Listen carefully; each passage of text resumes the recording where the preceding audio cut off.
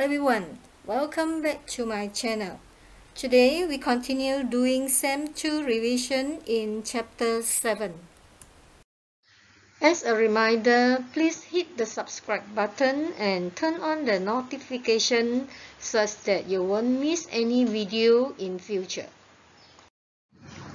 As usual, before we start, let's keep in mind that if fx is continuous at x equals n, then left hand limit of fx is equal to right hand limit of fx as x approaches n and also equal to fn. If the limit of fx exists as x approaches n, then left hand limit of fx is equal to right hand limit of fx as x approaches n. Now let's try this question. In this question, you are given the function fx and given that m and n are constants. Now, for question A, find the value of n given that the limit of fx exists as x approach 1. Since you are given that the limit of fx exists when x approaches 1, so first thing is we need to write down the formula that can be used. That is left hand limit it is equal to right hand limit then we try to select the correct function for the left hand limit so left hand limit means the region is less than 1 so uh, for x less than 1, the function is x power 2 minus 1 divided by x minus 1. Then right hand limit means x is greater than 1. So that is modulus 1 minus x divided by x minus 1 plus n.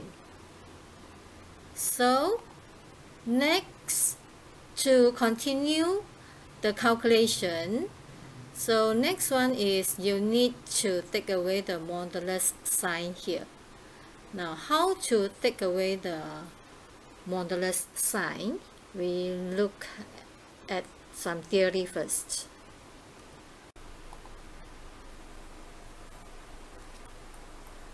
now since we know that modulus x can be positive x when x greater than 0 and also can be negative x when x it is less than 0. Now same thing as modulus of 1 minus x, it can be positive 1 minus x when 1 minus x is greater than 0 and also can be negative 1 minus x when 1 minus x is less than 0. Now we simplify this inequality. So we find that when x is less than 1, it is positive 1 minus x. And when x is greater than 1, it is negative 1 minus x. Since in the question the modulus is under the region x greater than 1, so means once we take away the sign of modulus, it should be replaced with the negative 1 minus x. So now we have, actually we can use other method also. Now we try to compare the value of 1 minus x under modulus and without modulus. Now we test for the region x greater than 1. So the region x greater than 1, let's we simply choose a value of x. Let's say we choose x equals 2. We try to substitute x equals 2 into 1 minus x of the modulus and we find that the value is equal to positive 1. Now without modulus, we substitute x with 2, we find that the answer is negative 1. So we can see that the different, it is different value. So now, in order to produce the positive value, so that it becomes the same value as modulus, so we can simply put a negative in front here. So means when negative negative, so the answer becomes positive. So means we need to put in the negative in order to produce the same answer as modulus if we take away the sign of uh, modulus.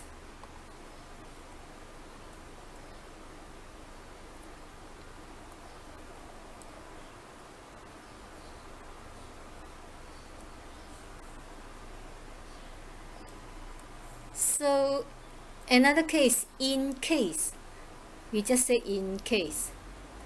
In case we test the other side, in case x is less than 1.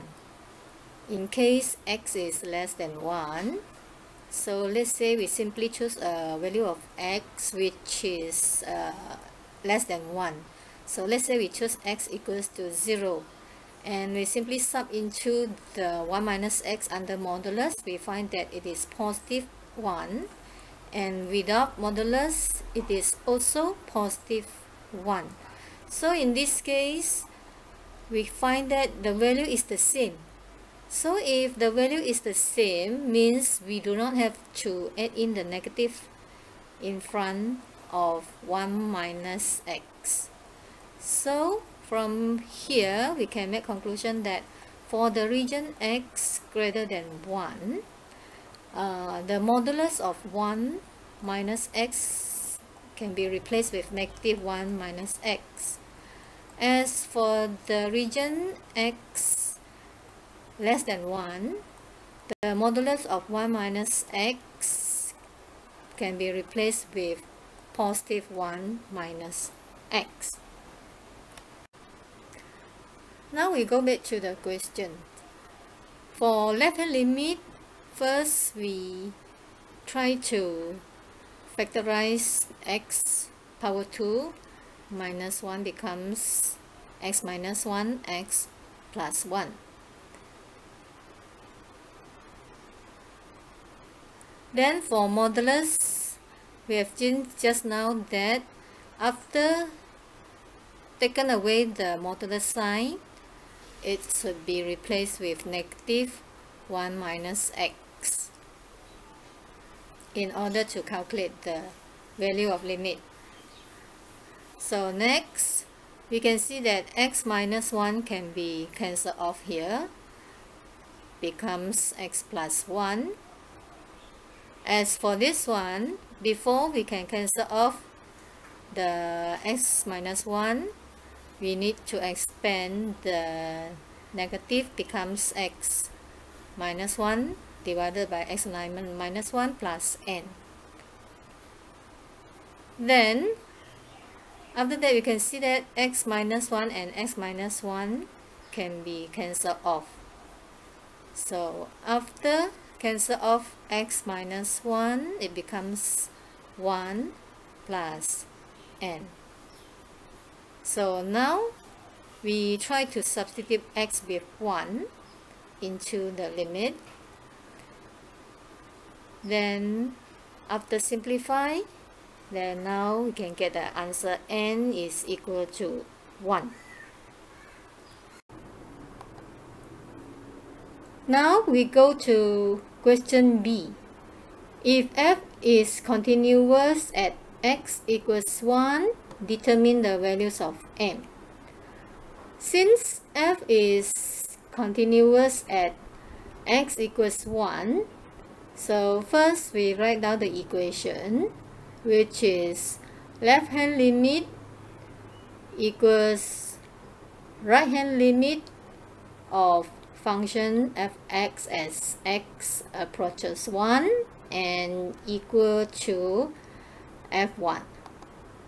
So from the equation we can see that there are three values. So in order to calculate values of m, we need to choose 2 to calculate the values of m.